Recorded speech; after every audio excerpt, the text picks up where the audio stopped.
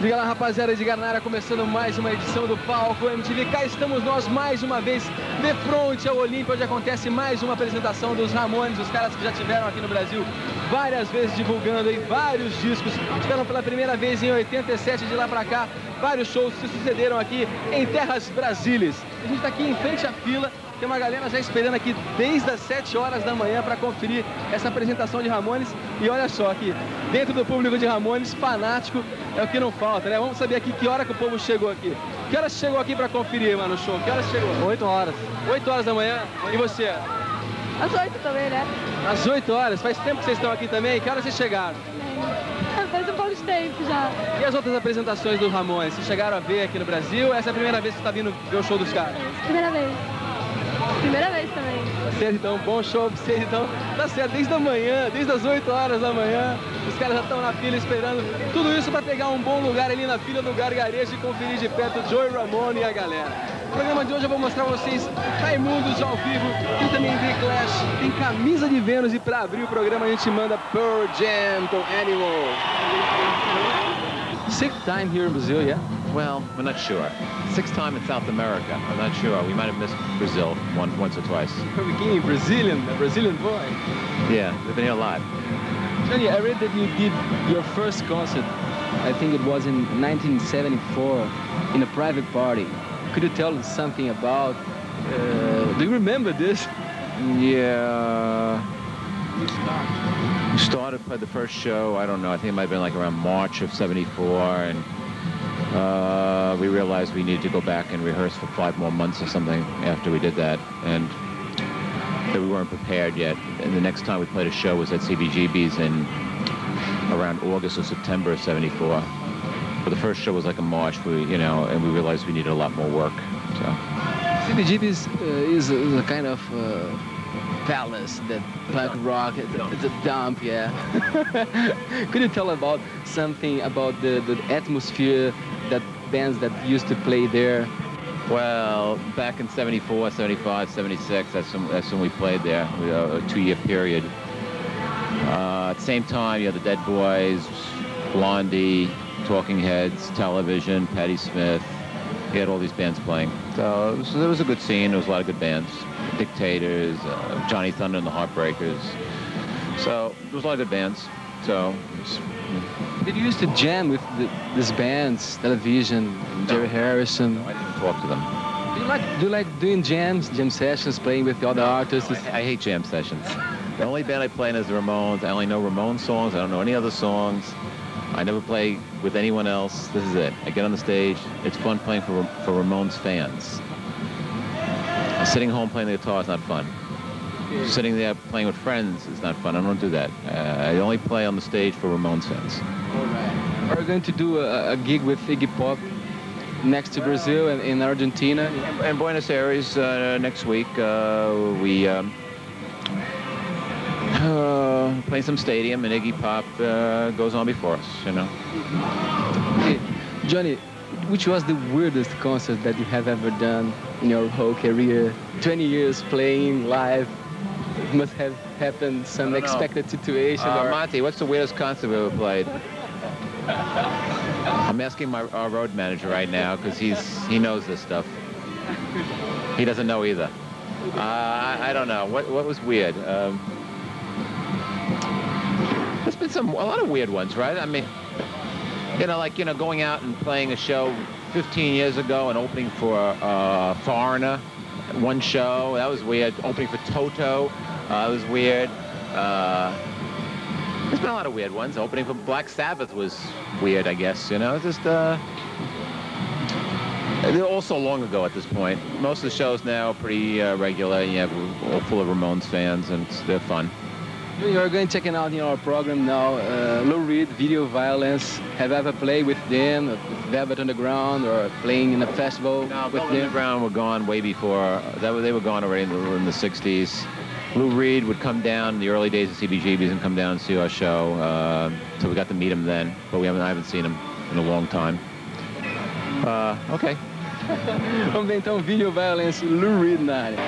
Estamos voltando aqui com o Johnny Ramone, trocando uma ideia aqui no backstage do Olimpo, onde a banda faz mais uma apresentação aqui no Brasil.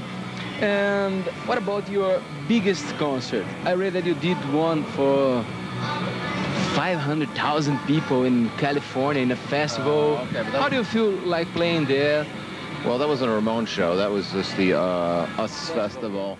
The biggest Ramones show was uh, last year in Buenos Aires. We had 40,000 Ramones fans who played with us. Yeah, and uh, that was great. Uh, but I really like, prefer playing places, say like this. Uh, I like playing for like indoors for like 4,000 people. And uh, that's always most fun. You know, anything from 1,500 people to 4,000. It's a nice range. It's uh, fans are close enough they can see the show and yeah, I prefer that. But occasionally playing outside for a lot of people is fun too. You know. The first time that you came to Brazil, it was in 1987. I'd like you to talk about uh, that, that concert, how do you felt there. Don't you remember? No, I don't remember. I remember coming to South America for the first time, but I don't remember anything that happened other than I, I remember one incident was my amplifiers blew, but I don't know which city that was in, and I had to use uh, the practice amp from the dressing room because all the amplifiers all blew. But uh, was that Rio? Was it San Paulo? It was in San Paulo. Okay, so in '87, uh, it was different, different venue. I don't remember what a venue. Yeah, uh, that's the only thing I really remember. And that, that tour is your last tour. Are you planning to, to, to give up the band? What are you going to do next? How do you feel like uh, doing your last concert in all those years playing rock and roll, playing punk rock? 22 years is a long time. It's long enough, and um, it's still a lot of fun. But it's uh, I'd rather fans see the Ramones uh, at a certain level of performing, and uh, and not become less than what they expect. So I'd rather stop before we become less than than they're used to. So eventually that will happen. You know. And in your early years, you played in uh, UK with a, a lot of success with many of the those bands in, in punk scene went to, to your concert to see. What could you tell? You mean the, the bands that came the first time? I guess when the first time we went there in 1976, I guess you had uh, Sex Pistols, The Damned, The Clash were at the shows, Chrissie Hynde, The Pretenders, uh, they were at the show. Uh, at the time, we didn't think nothing of it because we didn't know who they were. But we, we talked to them all, and we, You see the US, in UK very, very huh? you see there very, very much. You, you have a lot of success there. Oh, received well. Um, yeah, it's a little easier there than it is in the United States because you have uh, the music papers, uh, Melody Maker, New Musical Express. Most of the kids re- will read that. So if they put you on the cover of one of those papers, all the kids know about you. In America, there's nothing that that nothing similar.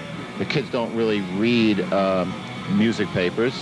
They just figure out. They learn the bands on their own and it takes a, a lot longer to, unless you're getting played heavy on the radio, is the only way you're going to get uh, that same level of success like that. you know. The concerts that you used to see during your teenagers, what kind of artists you Um, the first concert I went to was the Rolling Stones. Um I saw the Who probably 10 times. I've seen the Doors, I think about seven, eight times. I've seen Hendrix a lot of times, and the Cream, and uh, Led Zeppelin. These old concerts I went to. Before I got into the Ramones, I used to go to the New York Dolls a lot, and uh, Stooges, and Slade, and I've been to a lot of concerts. I mean, I figured out I've probably been to about 500 concerts before I was in the Ramones, so. Let's check, let's check it out another video now. You show the. Vamos ver The Clash aí no palco. A MTV a gente vai com Should I Stay or Should I Go. Daqui a pouquinho tem mais Johnny Ramone aqui no programa.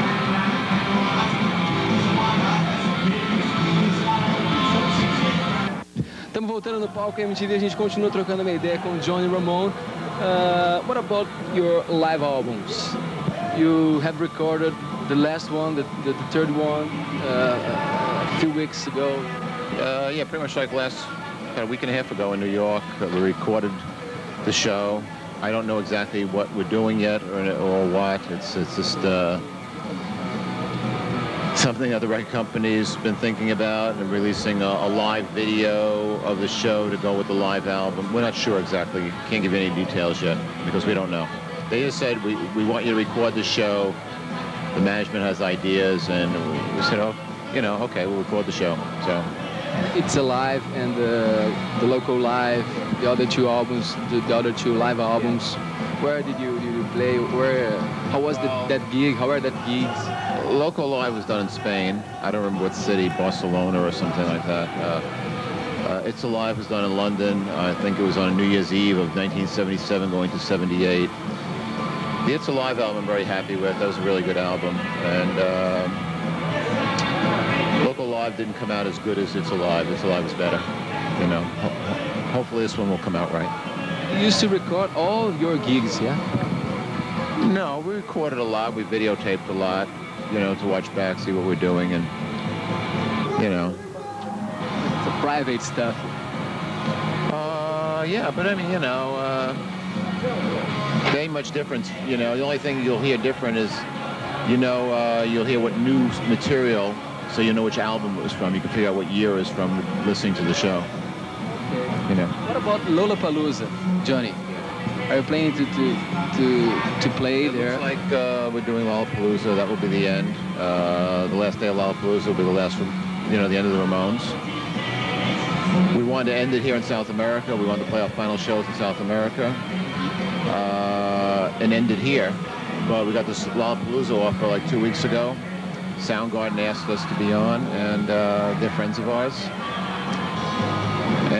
And I thought about it for a while, and I thought, well, we haven't done a, a final American tour, that maybe it would be good to do a final American tour, you know, so. Thank you very much, Johnny. What could you say to the fans that uh, are seeing our program? um, to thank all our fans in Brazil. They've uh, they've been a tremendous audience since the first time we ever come here, and uh, really uh, there's no audience other than the Argentine audience and the Brazilian audience. This is the best two audiences we have in the in, in the in the whole world. So it's been, it's been terrific here. And you uh, have discovered this uh, a few years ago. Uh, Yeah, it's uh, this. The kids are so um, so energetic and so warm and, and with like this love that you feel, and it's it's tremendous. Thank you very much, Johnny. Have a good show, man. Vamos em frente no palco MTV, a gente confere agora Runaways, Mama We Are Crazy Now.